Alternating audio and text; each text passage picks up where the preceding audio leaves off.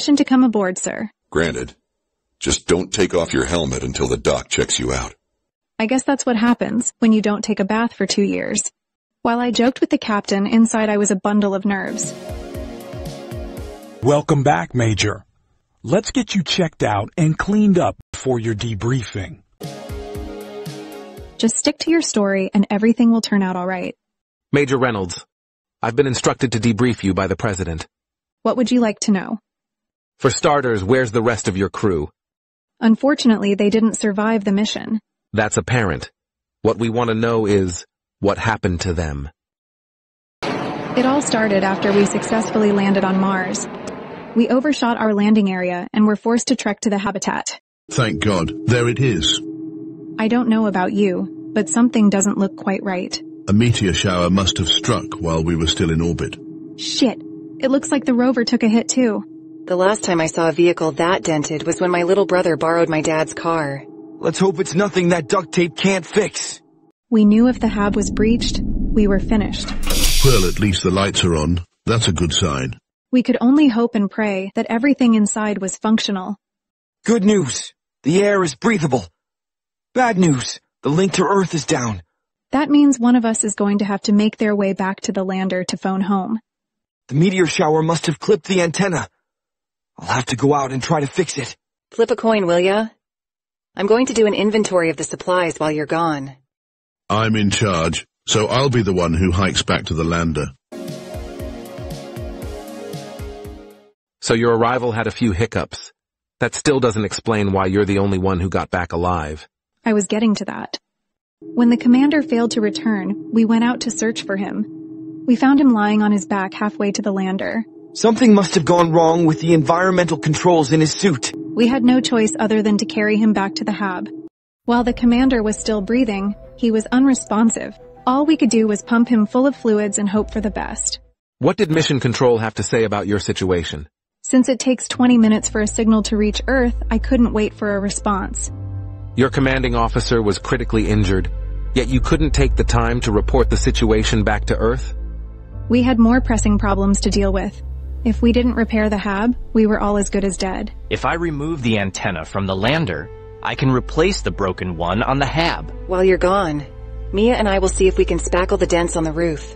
For the next three days, we labored to repair the hab to make sure it wouldn't fail us. Our transport didn't fare quite so well. I'm afraid the rover is toast. If you could fix the radio, why can't you repair our ride? There's a fist-sized hole in the crankcase. I guess that means we'll have to hoof it for the duration of the mission. Oh man! When did Commander Lancaster succumb to his wounds? We buried him in the red Martian soil the next morning. I'm sorry to hear that. We all knew the risks when we volunteered for the mission. On Mars, you have to worry about everything from meteor showers to solar storms that can prove lethal.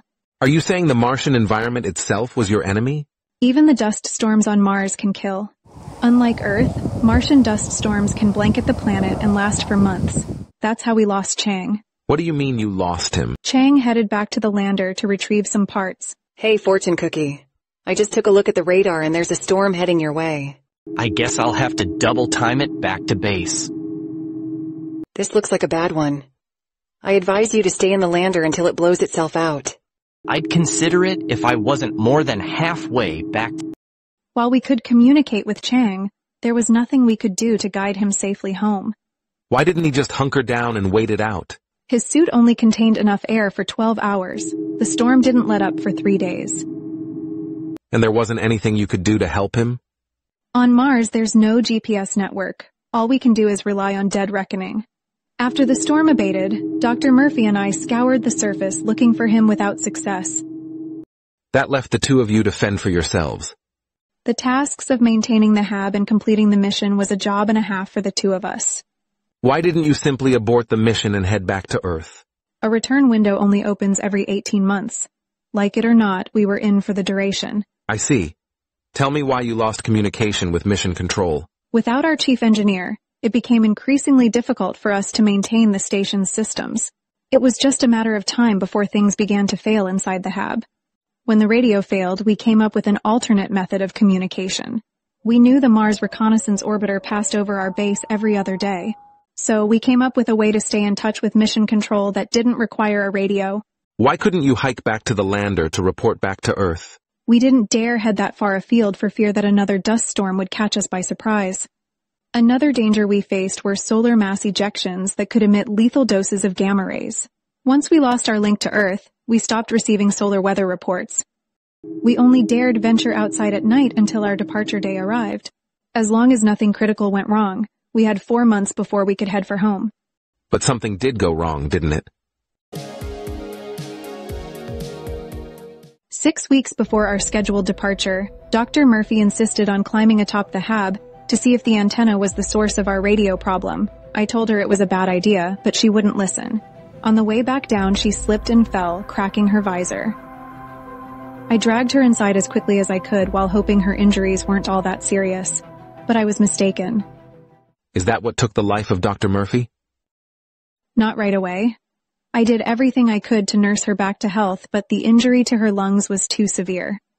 I don't mean to sound callous, but your mission certainly seemed to be accident prone.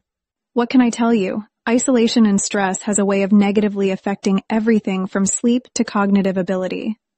And yet you seem to have come through the ordeal without too much of a problem. The only thing that got me through the five-month trip home was watching the earth and moon get bigger in the window.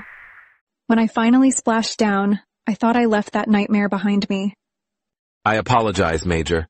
I just want to make sure I can give the President a complete picture of what happened to you out there. Tell her we did what we had to do to survive.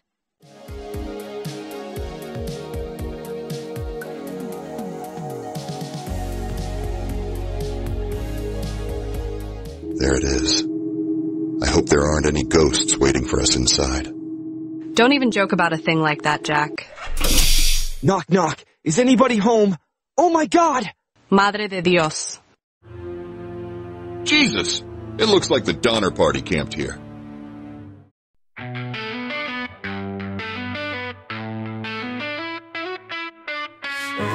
The stars, pushing bounds, building rockets, shaking grounds. Chase the glory in the night, fire trails and in the sky bright.